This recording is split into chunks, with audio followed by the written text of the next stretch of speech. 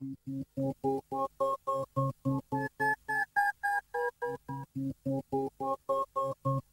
into that, that spiritual stuff.